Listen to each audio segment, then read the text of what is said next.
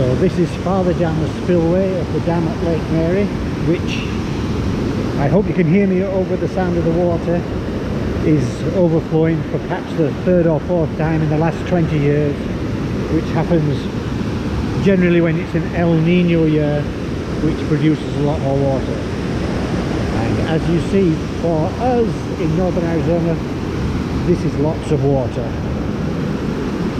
In fact, this is the road to the dam on the other side, which of course is impassable right now.